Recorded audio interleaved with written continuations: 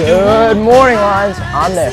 And I'm Dylan. As always, thanks for watching SFTV3. It's almost the weekend. Today is Friday, February 24th, day A. Today we are wishing a very happy birthday to Bryce Pettit, Juliana Ulrin, and Justin Lau. Have a great day, guys. Our main lunch today is a grilled cheese sandwich with tomato soup, fruit, veggie, and milk. The weather is dropping yet again, and we are only going to see a high of 37 and low of 23 with a 10% chance of rain today.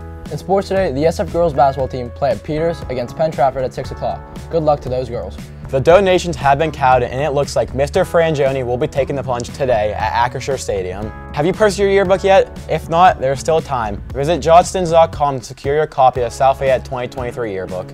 There was a mock trial meeting today after school and a quiz bowl practice with Miss Quirk. Keep in mind, the blowout is coming soon and make sure to keep pushing your donor drives and raise money for those kids. That's right. I'm really hoping that we beat our total of 258000 from last year. Nish, how much money do you have in your donor drive? $400, Dale. All right, I got about 5K, so we're looking good. Also, don't forget about the Crazy for You rehearsal after school with Alec, Carranza, and Fornella. Attention former and current German students. You're invited to join the German teachers on an amazing trip to Austria, Germany, and Switzerland in summer of 2024. There'll be a meeting regarding those details soon. Attention all seniors. Please check your email for a message from Miss Holly regarding the diploma name verification. All seniors need to complete a Google form to verify if their name is spelled correctly on their diploma. Please have this completed by today. Well, that's all we have for you guys today. As always, thanks for watching. Have, have a, great, great day, Lions. Oink, oink, oink, oink, oink, oink, oink.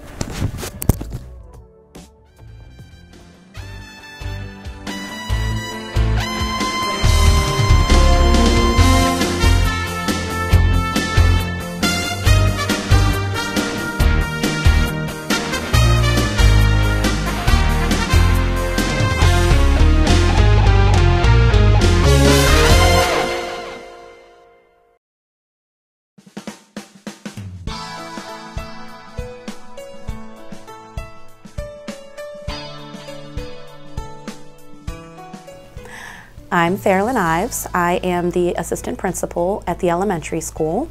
Um, I have been in education for a long time. I started as a preschool teacher and then I moved into public education. I taught first and third grade. Third grade was my last placement before I went into administration. And this is, I'm between year two, three. I had a baby in between um, those years. So uh, that's a little bit about my, um, my journey career-wise, but I'm originally from Florida. I went to Florida State University as undergrad, um, loved it, great experience, and then I transitioned and moved to Georgia where I met my now husband.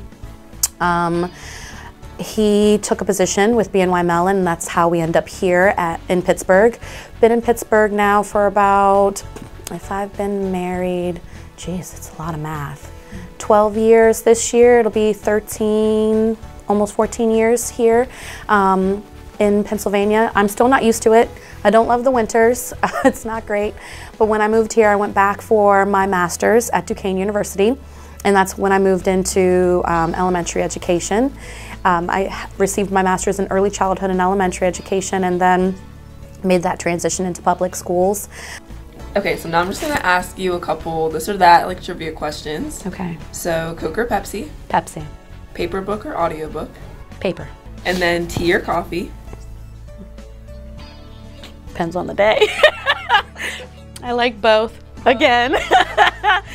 I'm a I'm probably a tea girl because I love a good Ar Arnold Palmer. Like I'm yeah. from Florida, um, and I love iced tea. I'm not a big fan of iced coffee, but yeah. like on these wintry days, I need coffee to get through. Mm -hmm. Okay. And then TLC or Destiny's Child? TLC. Okay. Marvel or DC? I'm gonna go Marvel. Mm -hmm. Nike or Adidas? Nike. Well, that was it. Yay. Thank you so much, Grace. Yeah, this was fun.